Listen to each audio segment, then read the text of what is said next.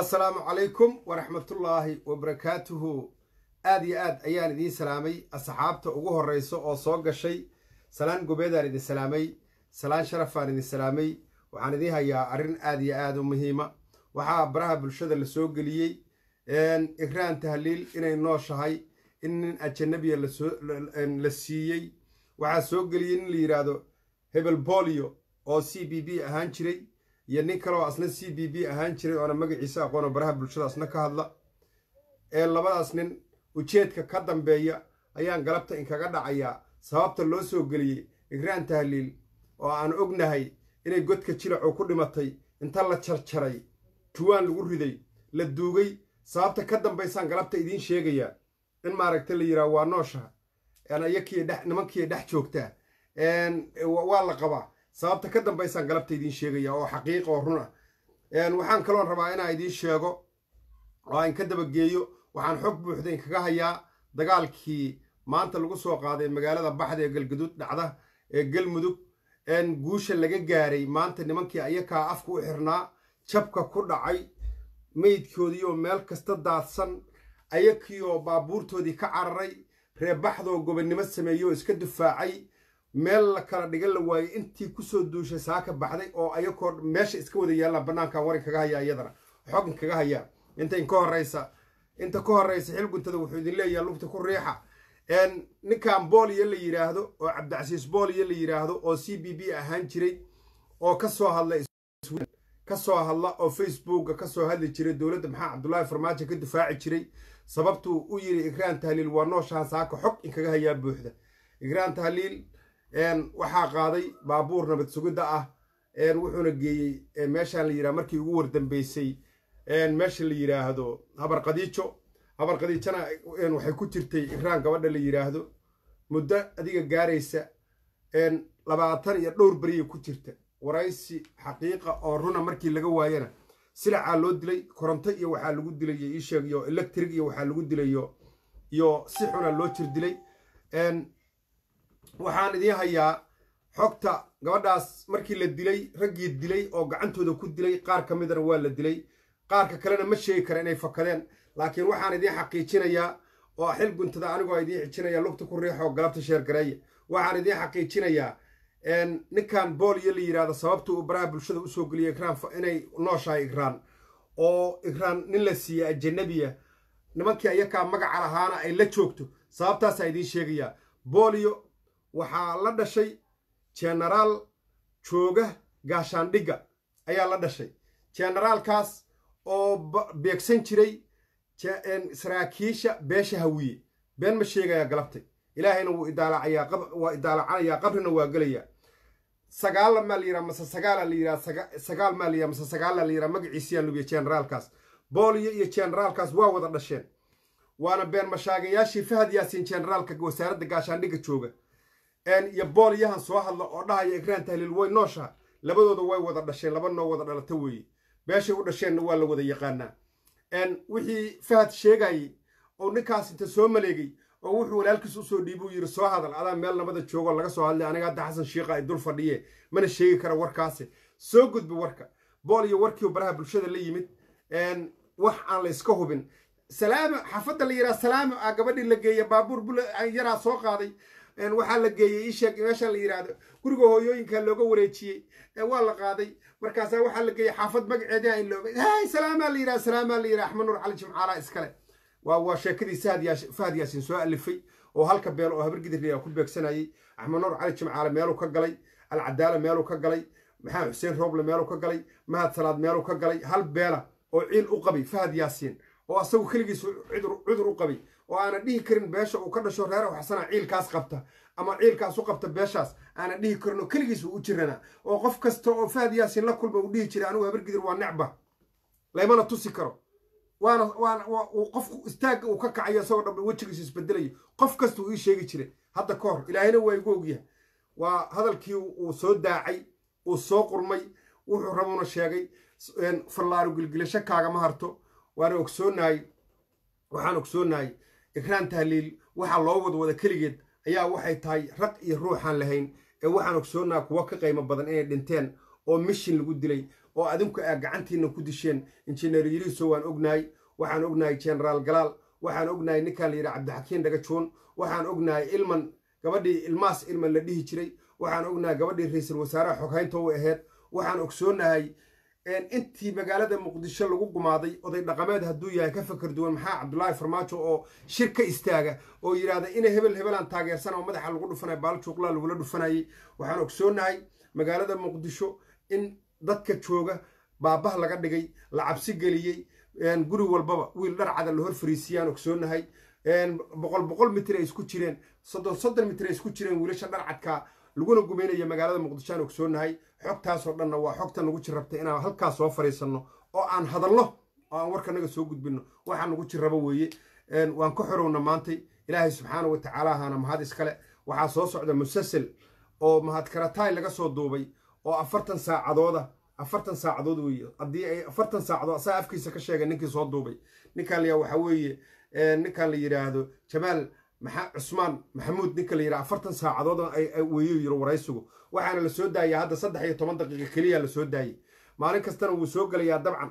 Kolley lacag uu ku raadinayaa bahalkaas qaybta u horreysuu soo geliyey oo inuu gatuu rabaa oo lacag tiro badan oo ninkaas ku gadanayaa barnaamijkiisa markuu gata kabacdiyaana waraysigaas la soo deynayaa oo maalin walba la soo deynayaa waxaa la fashilin doonaa oo la fashilin doonaa sidii loola shaqayn jiray nimankan ayaka ah ay u wada shaqayn jireen dowladda ayaa la fashilin doonaa. Runtaan idiin sheegaya sidii loola shaqayn jira ay u wada shaqayn jireen uu fashilin doonaa ninkaas.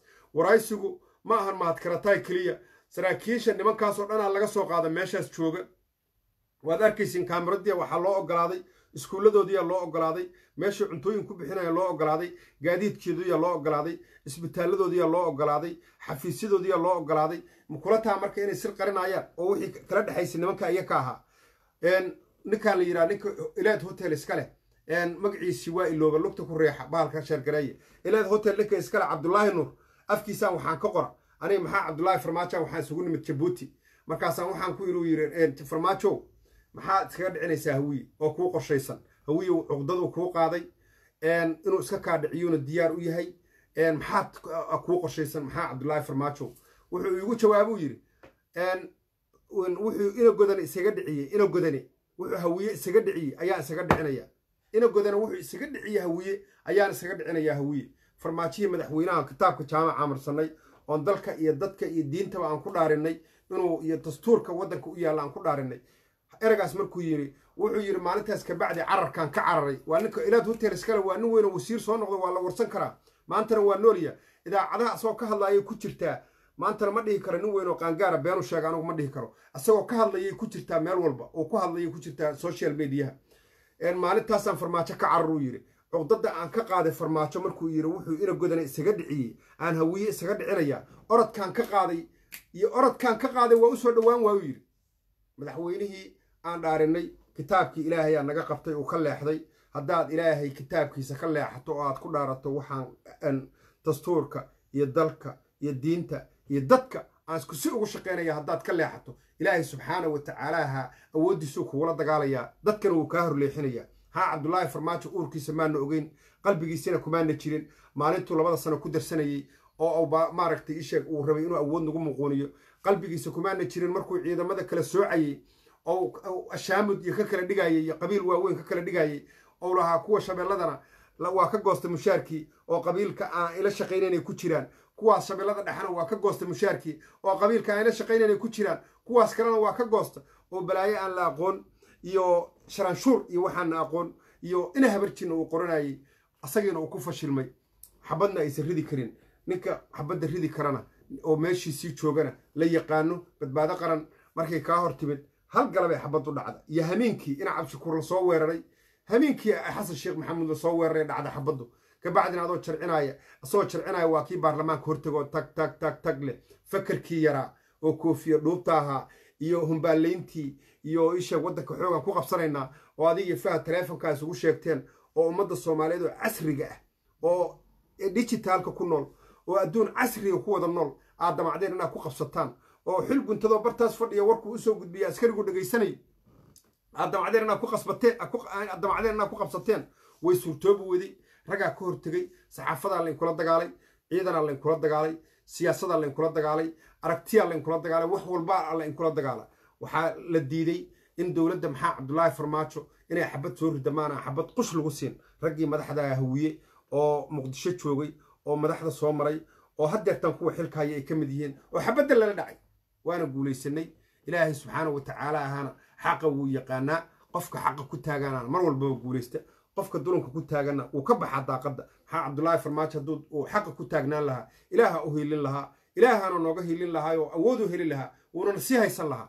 Laakiin wuxuu ka looxday jidkii uu ummadda soomaaliyeed ugu dhaartay dalka iyo dadka iyo diinta. Kullana jiis aan warkiisa ka dhagaysta baraha bulshada oo dhahaya annaku waddankan waxaa rabna sida siyaad barre inaan u talino ciidamadana aan kala soocno oo aan beesha hawiye ka soocno oo aan maaragtay kuwa naga amar qaadanaya aan wada qorno kullana jiis oo qaangaara oo maxaa cabdulaahi farmaajo uu dadka ugu jecel yahay aasaas ku hadlayay. Way isla qabeen marka.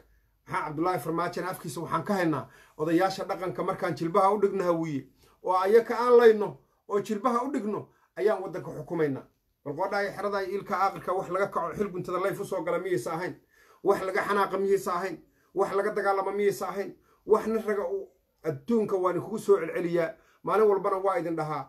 Ninka raggaa wuxuu ka dagaalamaa carruurta iyo naagaha haddii laga soo galo. Hadduu fula yahay xataa qof waa dili karaa. Fulay hadduu yahay.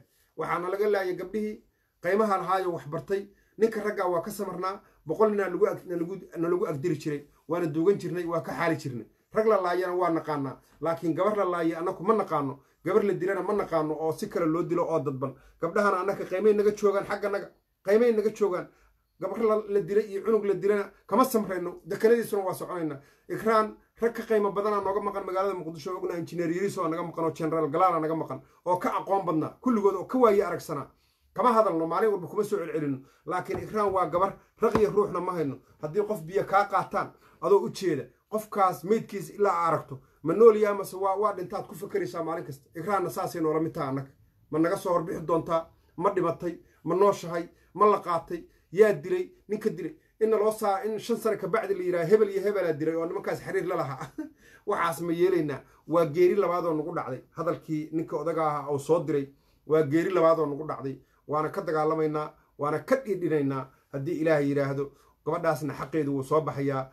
Si deg dega cabaadka tirada badan iyo dhibaatada tirada badanna waxaa keenay waxaa keenay cabaadka tirada badan iyo dhibaatada tirada badan faylalka tirada badan oo gacanta lagu soo dhigay oo gurigiisi laga soo baxshay oo la hayo la baarayo oo xaqiiqdooda maaragtay loo maaragtay laga daba tegaya ayaa cabaadka tirada badan keenay.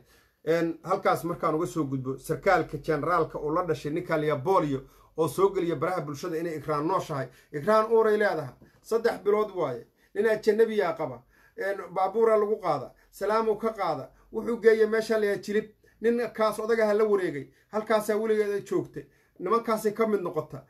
Ninaa qaba waa ajanabi usida dagaala. Qodhaaya xeradaa ilka aakhirkaa geeri labaad ma ninkaas ma u gafa hooyadii oo ooyeysa oo baraha bulshada ku ooyeysa ma u gafa ma ka dhaadhiciyo maanta gabadheediisi inay nooshay gabadhii juwaanka lagu rido la jarjaray qodhaaya xerada geeri labaad ma daday ka dhalatay ikraan boolyow siciid boolyow ikraan daday ka dhalata. Wayna ku dhegaysan dadkii.